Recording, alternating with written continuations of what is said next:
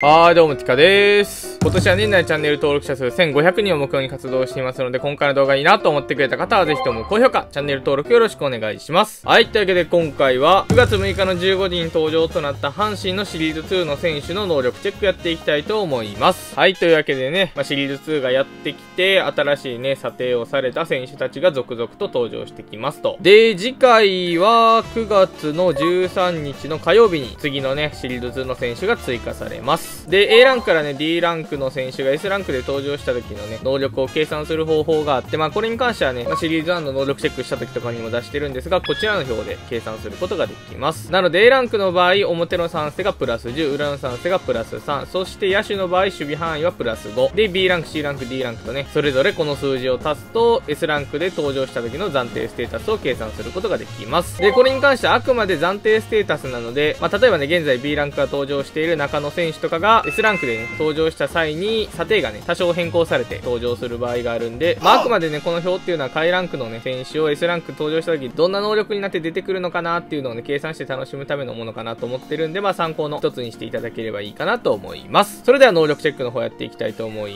ます。どうぞ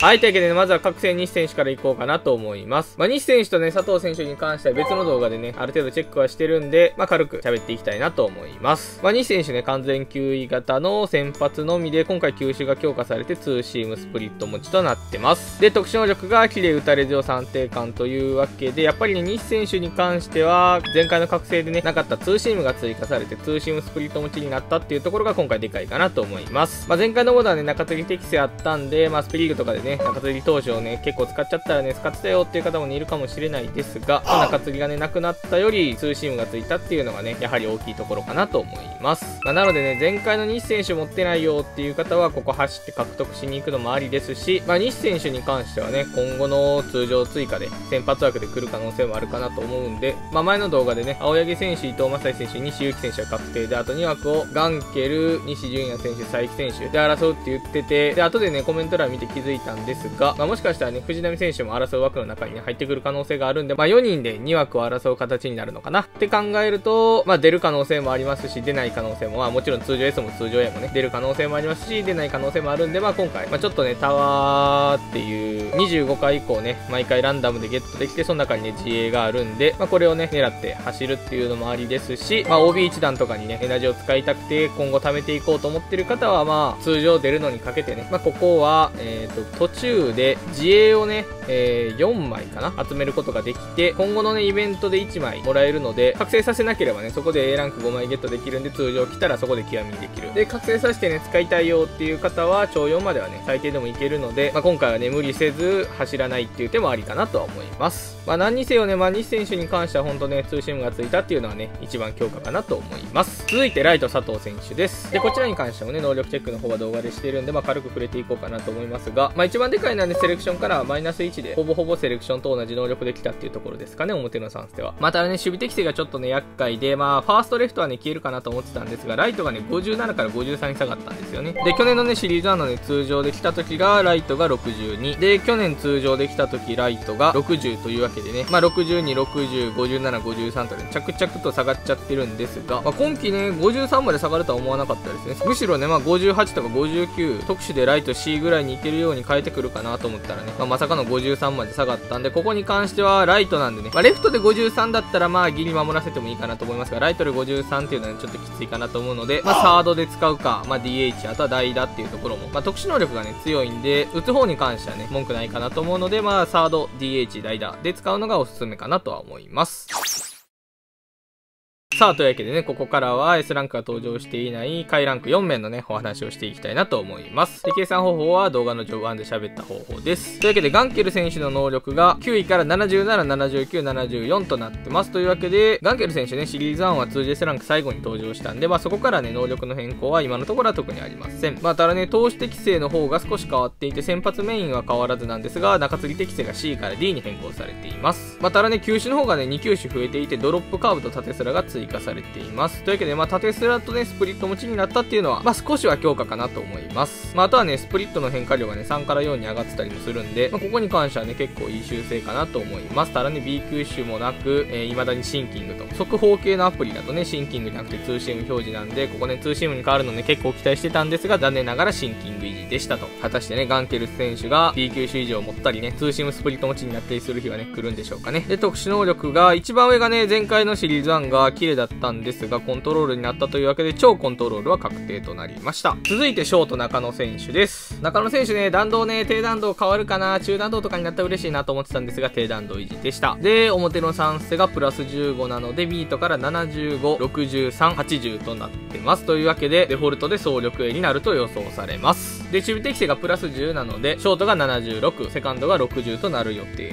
です。いやー、ここに関してはね、スイッチのね、プロスピがショート A の81、セカンド D の51となってたんで、まあ、あわよくばね、ショート適性は、デフォルトのね、A はないかなと思ってましたが、特殊で A にできる78とかになったら嬉しいなと思ってたんですが、残念ながらここは76となってます。まあ、それでもね、シリーズ1からショート適性ね、4上がるんで、まあまあ悪くないかなと思います。で、裏の3捨てがプラス6なんで、補給から48、46、51となります。というわけでね、シリーズ1と特に変わりはありません。で、特殊能力もね、一番上盗塁なのには変わりありません。というわけでね、弾道が低弾道で、表の3捨ての能力値、そして守備適正の範囲、で、裏の3捨て、まあ、全て考慮しても、OB で鳥谷さんが出てきたら鳥谷さんのおすすめするかなと思います。鳥谷さんね、査定年度変わらなければ弾道ラインドライブのミートから78、75、75。で、ショート適正が75なんで、まあ、中野選手と1しか変わらない。で、裏の3捨てが補給からから84、84、73。で、特殊能力がチャンス、選球眼、満塁男。というわけでね、まあ、全体すると結構強いというわけで、ま、さすがに、鳥谷さんがね、シリーズ 2OB で登場したら、鳥谷さんをね、ショートで使った方がいいかなと思います。まあ、なので、セカンドで中野選手60あるんで使うっていうのはね、全然ありかなと思います。続いて、ピッチャー石井大地選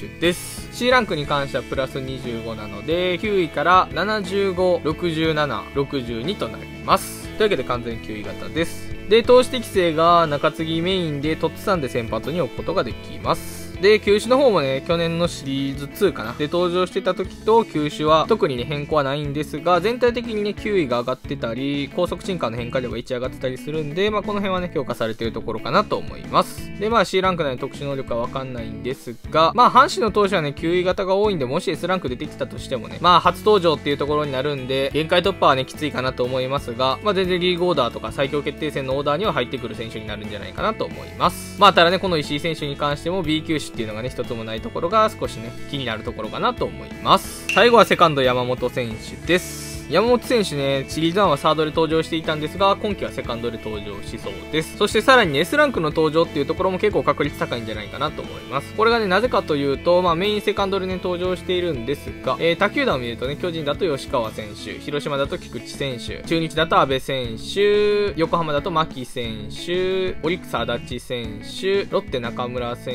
手、楽天浅村選手、ソフトバンク三森選手、日本ハムアルカンタラ選手、西武外崎選手、選手ヤクルト山田選手というわけでね、メインセカンドの選手たちと一緒に登場しているんで、S ランクのね、メインセカンドの時に山本選手がね、追加されるっていう可能性が高いんじゃないかなと思います。で、D ランクなんで、表の3世がプラス30というわけで、能力の方が、ミートから56、60、72の完全総力型で登場します。で、守備適性がプラス20なので、セカンド適性が65、で、ファースト適性が60、で、サード適性も60、で、ショート適性が55となります。で、裏の3捨てがプラス12なので、補給から47、50、67となります。で、D ランクなんでね、特殊能力はわかりませんというわけで、山本選手中弾道でセカンドも65あるというわけで、まあ中野選手ね、さっきセカンドで使うのありだよって言ったんですが、まあ山本選手がね、S ランク登場した際には、セカンドのね、レギュラー、まあ総力型っていうところとね、ミートが56しかないっていうところでね、まあリアタイはどうかなと思いますが、リーグだとね、それこそね、阪神の現役純正やられてる方とかだとね、まあ総力型が多くなっちゃうので、山本選手ね、大台入りする方もね、いるんじゃないかなと思います。で、山本選手がね、セカンドで来るとなると、今までセカンドで登場していた糸原選手。ここがおそらくサードで来るんじゃないかなと思います。佐藤選手がサードで来て、糸原さんセカンドかなと思ってたんですが、山本さんがね、セカンドの選手たちと一緒に来てて、佐藤選手も今回通常ライトで出た。で、大山選手がね、今までサードだったんですが、まあおそらくファースト、まあないしはレフトに回ると思うので、そう考えた時にね、サード誰が出てくるかって考えると、まあ糸原さんかなっていうところで、まあセカンドがね、山本さん出てきて、サード糸原さんが出てくるっていうのがね、シリーズ2の流れになるんじゃないかなと思います。